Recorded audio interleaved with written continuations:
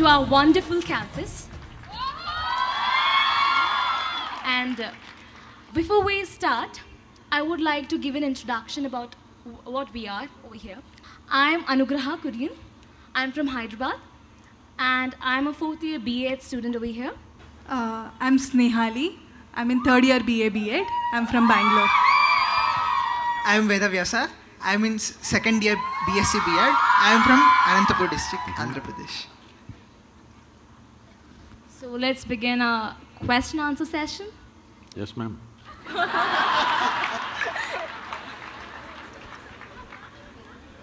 First of all, namaskaras to you, Sadhguru. Sadhguru, I have worked very much hard to secure the first rank in common entrance examination and place me here. But my brother says me that it's my destiny that has put me up here. Is it really my destiny or my hard work that placed me here? Where's your brother placed, huh?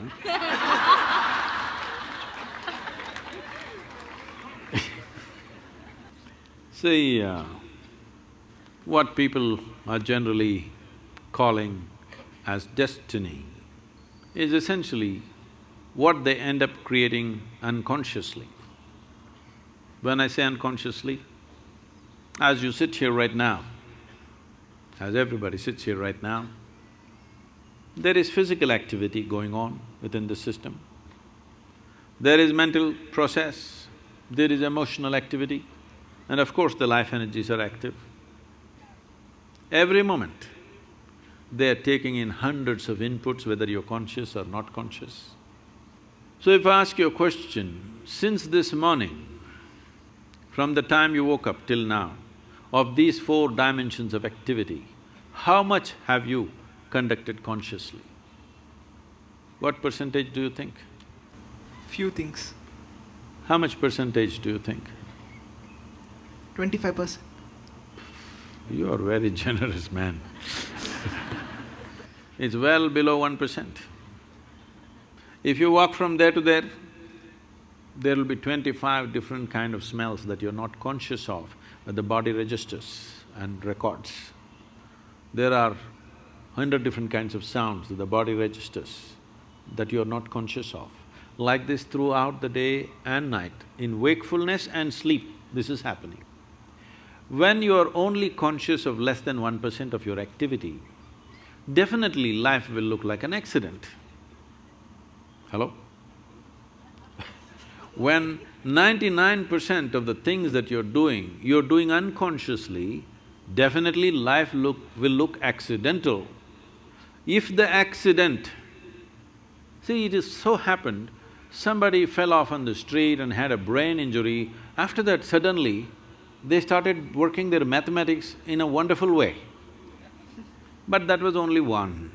A thousand other people who cracked their skull never recovered from that or they died, or those who lived on, lived on much diminished. So, being accidentally fortunate is not the way to exist. So, whenever a pleasant accident happens, we say it's destiny. Some of you even say, God doing things to me. When did you make a partnership with him? I don't know. So, shall I tell you a story? Okay? This happened. Sherlock Holmes, you know Sherlock Holmes? And Watson went out camping. And early morning, three thirty AM, Sherlock Holmes nudged Watson. He opened his eyes, what? What do you see? he asked. Well, I see a clear sky and stars. What does it mean to you? He said, well, that means tomorrow is going to be a wonderful sunny day. Then he asked, what does it mean to you? He said, it means someone has stolen our tent.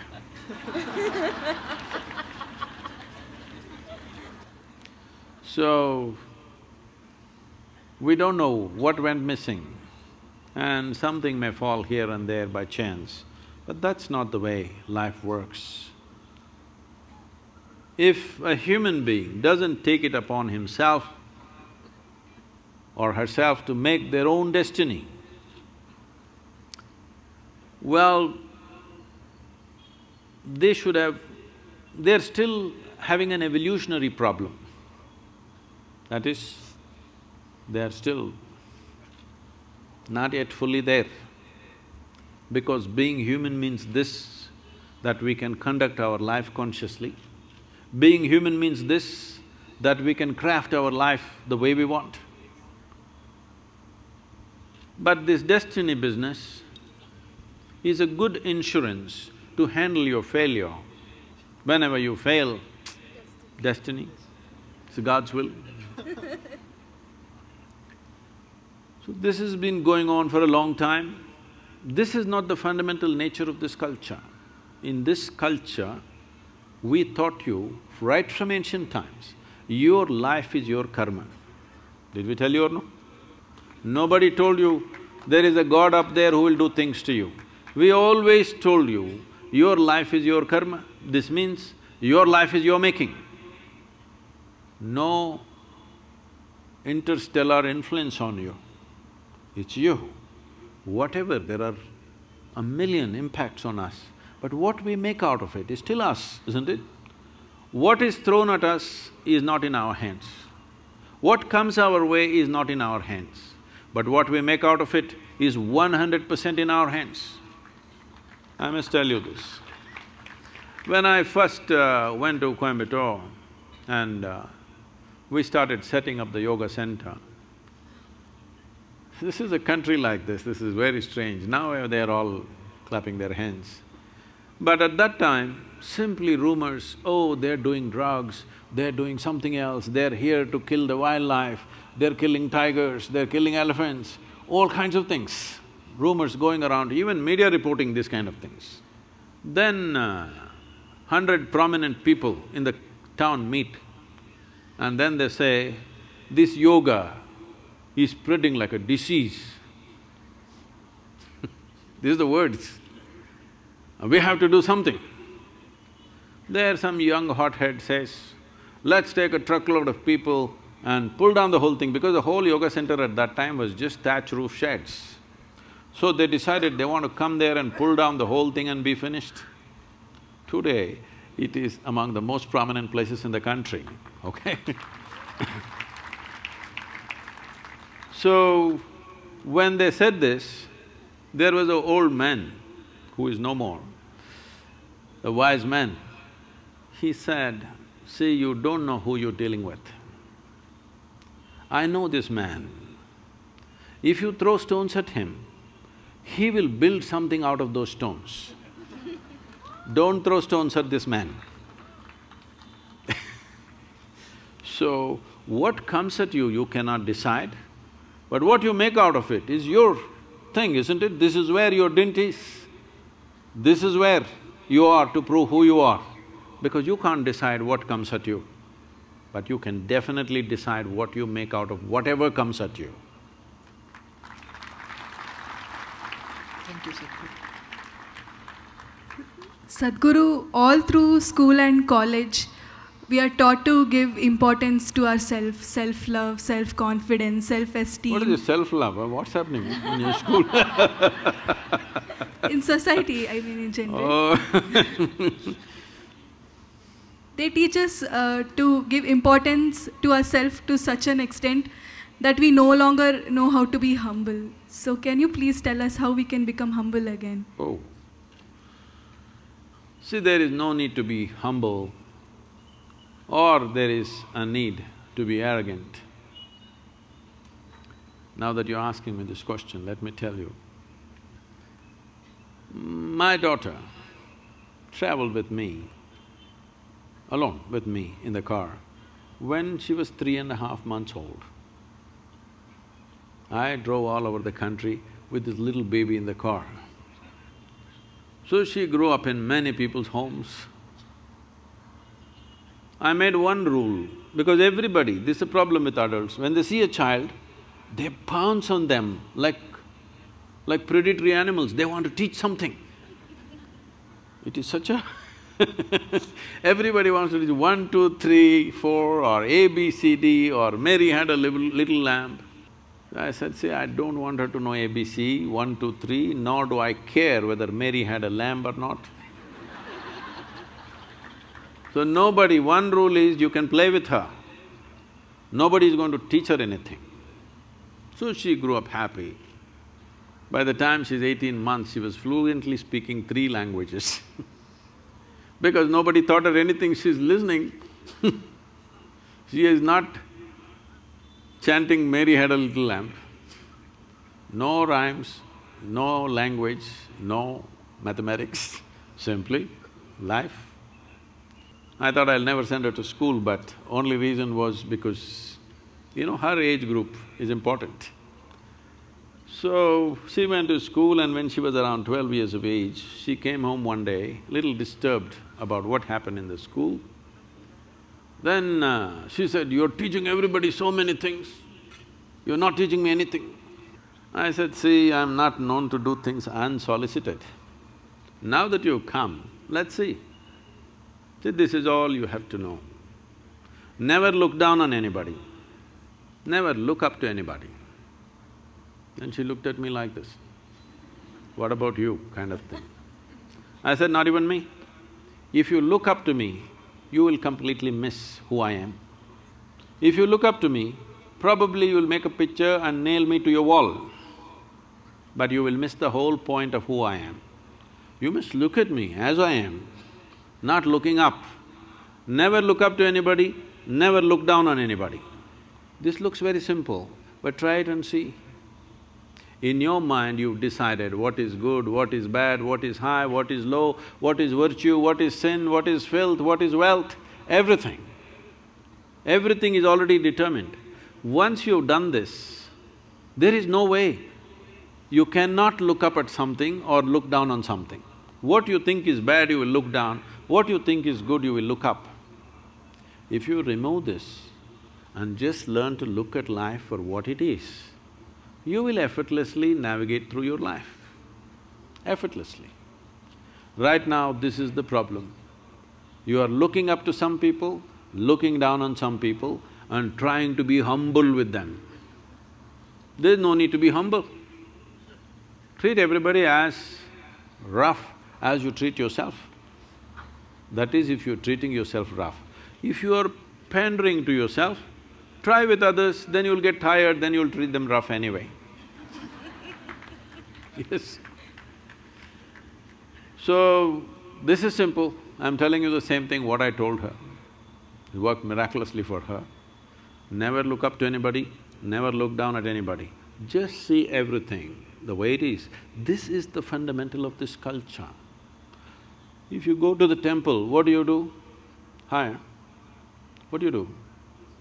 If you ever go to the temple, what do you do? Namaskaram. You see a man, what do you do? Namaskaram. You see a woman, what do you do? Namaskaram. You see a tree, what do you do? Namaskaram. You see a rock, what do you do? Namaskaram. A cow, snake, donkey, monkey, everybody namaskaram. Because fundamentally this is what it means. This is called vairagya. Vairagya means, this is not a… vairagya does not mean giving up your life and going somewhere. There's nowhere to go unless you go with that guy outer space, they're going to send you out with a one-way ticket, I believe. Otherwise, where is there to go? Wherever you go, it's still life, isn't it? So, vairagya means this, literally means, vairagya means beyond color. That means you become transparent. If you're transparent, every dimension of life can pass through you, but leaves you untouched. You can handle life to the extent you wish. What you can handle, you handle, what you cannot handle, you don't. But in your life, if you do not do what you cannot do, that's not an issue. But if you do not do what you can do, you're a disaster. The moment you think something is good, something is bad, somebody is high, somebody is low, many, many things that you can do, you will not do in your life simply because you think it's bad, simply because you think it's low or high or whatever nonsense. So in our lives, this is what is most important because it's a brief life. It's a limited amount of time for the human potential to flower. In this life, here if you're choosing what to do and what not to do, no, everything that you can do must happen. What you cannot do, it doesn't happen, it's okay.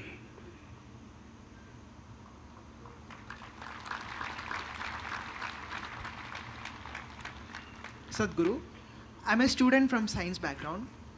Most of the religions in this world proclaims that the God has created human beings. But our evolutionary science is saying that human beings have come from monkeys. Which one should I believe in? What do you feel closer to? Being a human, I think that I have evolved from humans. See, uh, if you are someone who is on a reverse gear, then you must choose the first one. Your religious people telling you you came from God because you're going in the direction, better not go in the direction of a monkey. Go back to God. But if you're planning to evolve, then better go with Darwin because is there room for evolution for you or are you super evolved already? I'm asking. there is a room for evolution. Huh? There is room There for is evolution. If there is room for evolution, that means there is a possibility that you can become a better man than what you're today. So if you're going in forward gear, go with Darwin. If you're in reverse gear, go with God. Yes, because if you want to go on that path, that needs devotion. Devotion means, the word devotion comes from the word dissolution. You want to dissolve into your object of your… your object of devotion, whatever it is, you want to dissolve into it.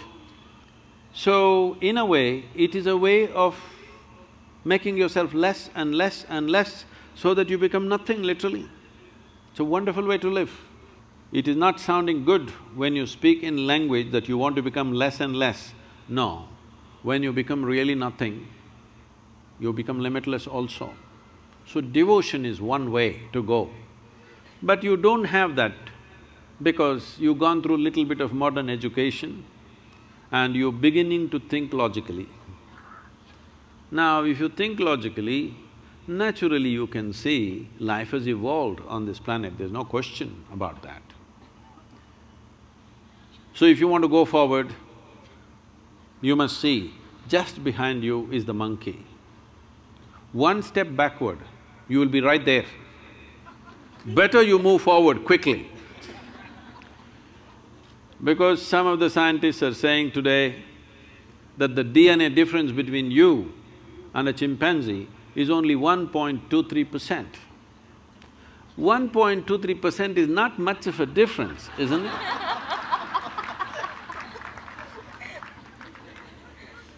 Not much of a difference, isn't it? But see, just 1.23 percent, a world of difference. Isn't it so? Just such a small difference, just see how big a difference. So, one if you're not happy with 1.23 percent, you must accelerate your evolution.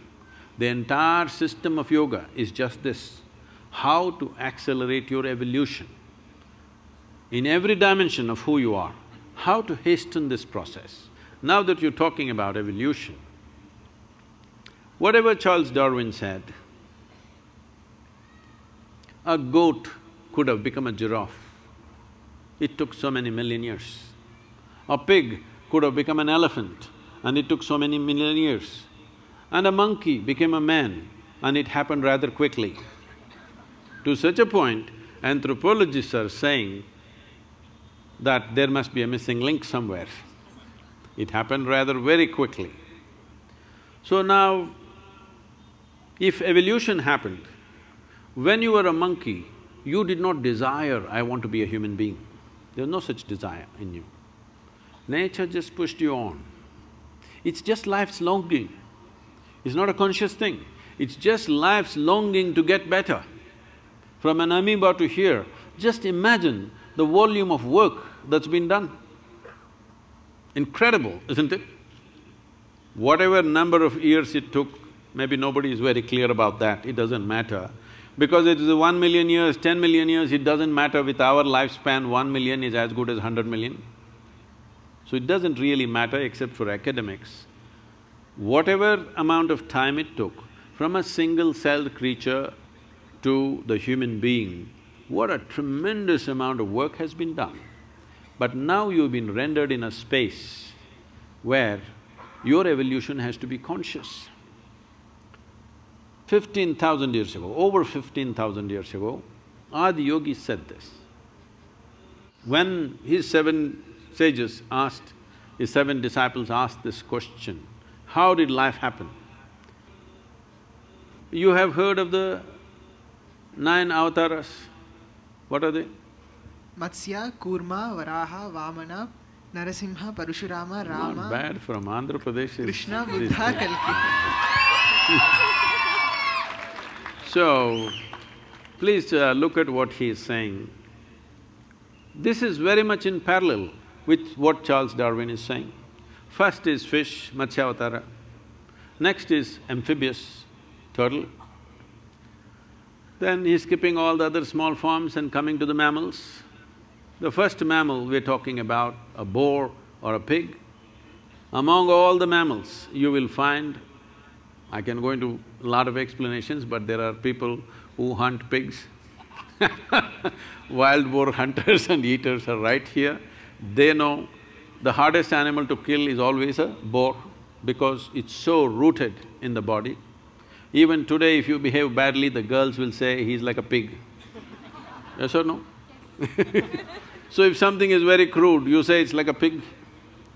So, first animal, mammal, is the pig. What's next? Avatara. Vamana. Mm-hmm. Matsya. Narasimha. Narasimha means half man, half animal. Next is Vamana, means a dwarfed man. Next is Parashurama, a full-fledged man, but explosive and uncontrolled, volatile. So volatile, he lopped off his own mother's head. Next one is Rama, a peaceful man. Next one is Krishna, a loving man, an exuberant man. Next one is Buddha, who is a meditative man. Next one is supposed to be a mystical man. This is not about those individual people. This is just, these people are being used as milestones. This is the nature of development of life. In many ways, this is running parallel to Darwin's theory of evolution. Darwin's theory of evolution is only 152 years old. Adiyogi spoke about this over fifteen thousand years ago. And and then naturally the next question is, can we evolve further? Because you find, you find right now when you want to study for your examination, you wish you had little more brain. Hello? Does it happen or no? So naturally question, can I evolve further? If a single-celled animal can become this much, can I go further? So Adi Yogi said this. This is… modern neurologists are saying the very same thing in a different language. Adi Yogi said, considering the nature of the solar system and the arithmetic, I will not go into the elaborate arithmetics of this, the way the planet, the moon, the sun, these three are very important, there are other uh, six which are also playing an important role, but these three are most important. The planet Earth, the moon and the sun. This is why the entire yogic system is around these three aspects. These three have significant roles. Unless something fundamental about the solar system changes, he said your body cannot evolve further, but you can evolve consciously. When we say we can evolve consciously, I can show you or we can take you as an experiment if you're willing. Yes. Huh? We can put you on something and show you that your very fundamental genetics will change within a matter of three to nine months by doing certain things with your system. If you know, if you're willing to give yourself to a certain discipline, your very genetics can be altered. Your level of intelligence can be changed. The way you experience life can be changed. So he said, you can evolve consciously, but physically you cannot evolve unless something about the planetary system changes. Modern neurologists are saying something very similar. I will not go into the detail because of the time, but you can evolve. So, if you're going forward, choose Darwin. If you want to go backwards, backwards is not a bad place. If you want to go backwards, uh, don't think backwards is a mm, negative thing, no. If you want to dissolve, you go towards God. If you want to evolve, this is one way. These are two different ways of doing the same thing.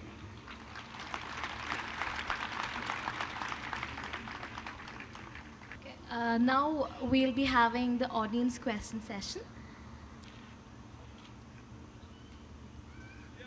Audience are all sleeping,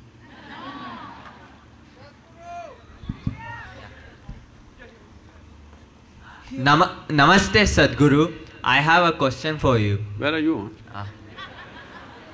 Here. Okay, okay. Ah, here. You said that uh, Indians have so knowledge about everything. Uh, Bharata Bharat ವಿಶ್ವಕ್ಕೆ ಗುರು ಅಂತ ನಾವು ಹೇಳ್ತೀವಿ ಎಷ್ಟೊಂದು ಕಡೆ Uh, you're saying that, I'm me saying it. ಈಗ ನೀವು ಆದಿ ಆದಿಯೋಗಿ ಬಗ್ಗೆ explain ಮಾಡಿದ್ರಲ್ಲ Sadhguru fifteen thousand years ago we had that knowledge ಅಂತ ಹಂಗಿದ್ಮೇಲೆ ಆ ಆ ನಾಲೆಜ್ ಅಷ್ಟು ಗ್ರೇಟ್ ಇದ್ಮೇಲೆ ನಾವು ಏನಕ್ಕೆ ಅದನ್ನು ವಾಪಸ್ ತರೋಕ್ಕಾಗಲ್ಲ ತಂದರೆ ಹೇಗೆ ತರ್ಬೋದು Uh,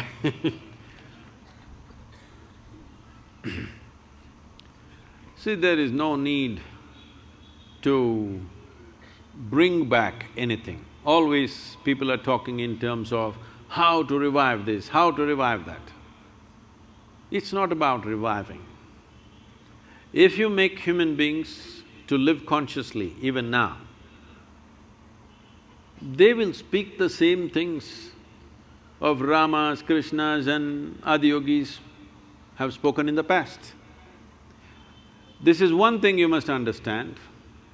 This is a godless culture. All the people whom you worship are people who walked this geography at one time. We worship them not because they flew in the sky, walked upon the water or fell from the clouds, nothing like this. They went through life just like you, all the trials and tribulations, much more drama than your life. If we have to take examples, well, we can take Rama, because uh, even today is having real estate problems. After so many years, after nearly six thousand and odd years, still he cannot settle his property. so, this happened right through his life also. At a young age, he became a king rightfully because he's a prince, coronated, became a king. Due to some political reasons, he's sent to the forest and he has a young wife. She's not a tribal woman, she's a princess, not fit to be in the jungle. Well, in your television serials and movies, you might have seen Rama, Sita dancing and you think it's a, some kind of a honeymoon. No. Going to the jungle is a punishment. If you don't know what I'm talking about, I've lived in jungles for weeks by myself, surviving in the jungle. If you stay there for a week or fifteen days and come back home, people won't recognize you. Head to toe you will be bitten by insects and you will be a different thing, especially if you take the girls, you cannot even recognize them when they come out. Yes. So, going to the jungle was not some kind of a picnic, it was a punishment. And as if that was not enough, these uh, Sri Lankan people came and kidnapped his wife. You know the story. This is not here, this is in Ayodhya. They took away his wife. After all, he's a king. If one wife goes away, he could have found another local solution, because allowed for the king. He could marry a hundred if he wanted. But the man loves his wife so much, he walks all the way down, not with an army, just with his brother, all the way down. She must have meant so much to him to… because there is no GPS location as to where Sri Lanka is.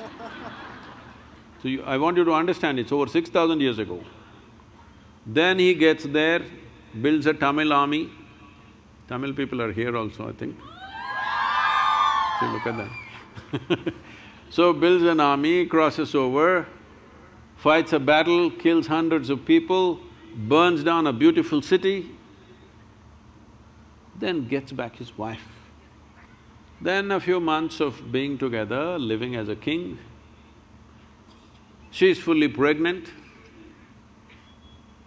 In that condition, again some political turmoil happens and he sends her back into the jungle. He's not getting rid of her. This must be understood. He's not getting rid of her, she means a world to him. Not just that, for a king, for an emperor, wife is pregnant is a big deal because the heir. No sonogram, so you don't know whether it's a boy or a girl. It could be boy, it happened to be boys but he sent her to the jungle. Today many women's groups are asking me, Sadhguru, what kind of a man is he?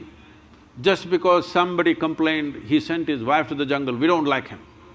Then I said, see, do you want a leader in this country who will put the well-being of the citizens of this nation above the well-being of his own family? Do you want such a leader or no? That's the man he is.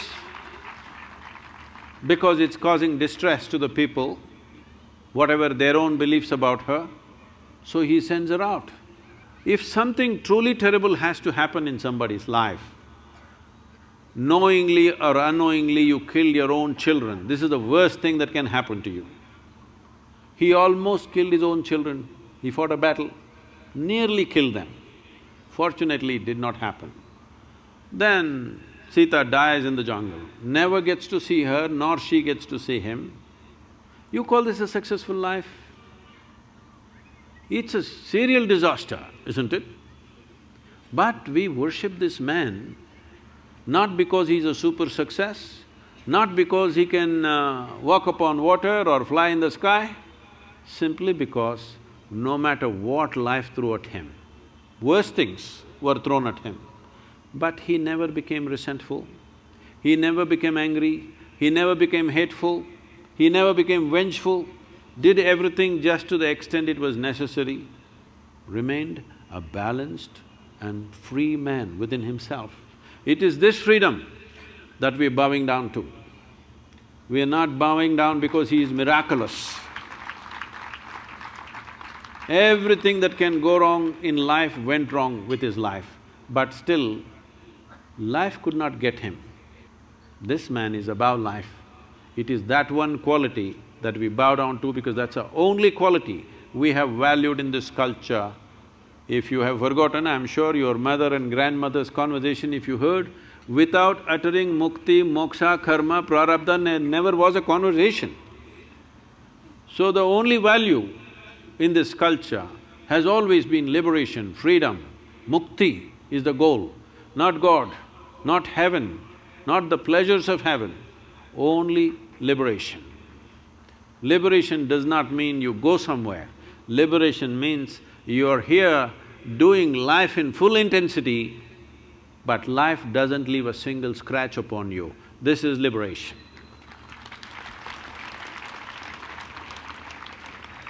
Thank you, Sadhguru. Now we'll have a social media question. The first question, Sadhguru, it is from Brinda.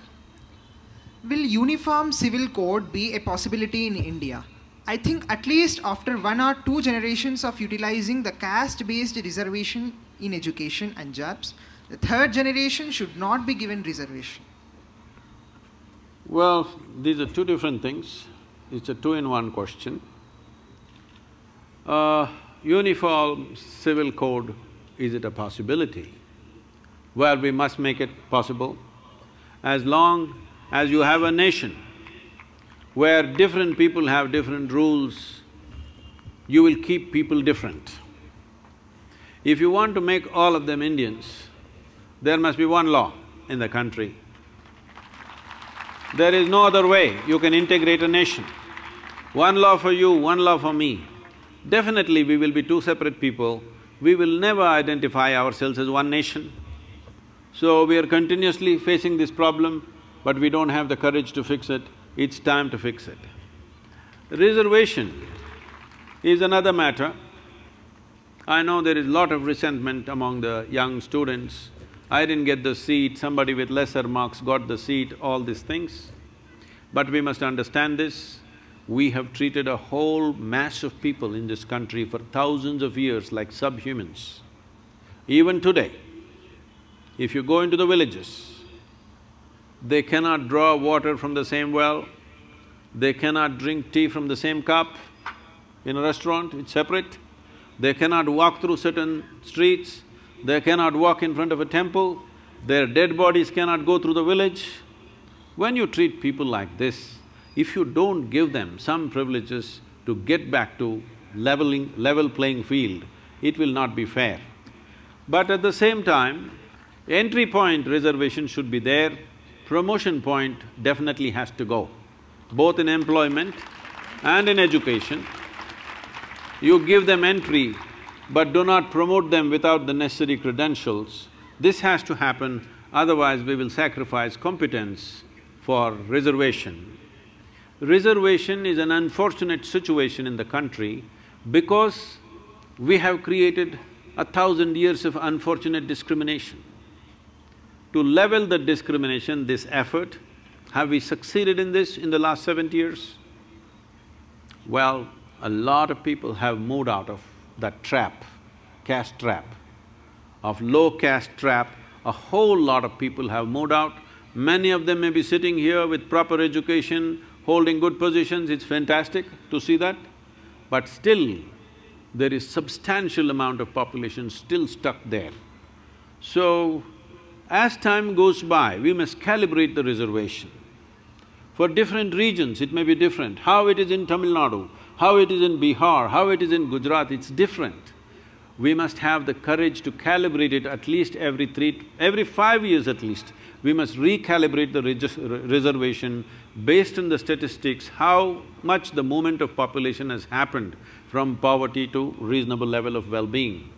And to what extent discrimination is leveled, accordingly reservation should be calibrated, but it's a political thing. No political leader wants to touch it because uh, election is a number game. It's just like going to an examination. Thank you.